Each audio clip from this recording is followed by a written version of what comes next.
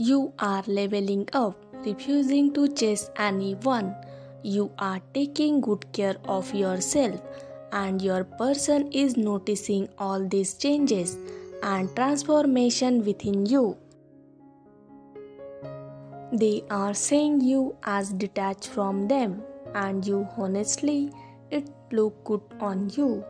They are pulling your energy, but you are not feeling it as much as you we felt in the initial phase of this journey. Because it's their time to think, analyze, and wonder, it's their time to feel the same things which you have felt since the beginning of this about you connection. They are admiring your strength because you may come out strong each time you go through cycle and lessons with them.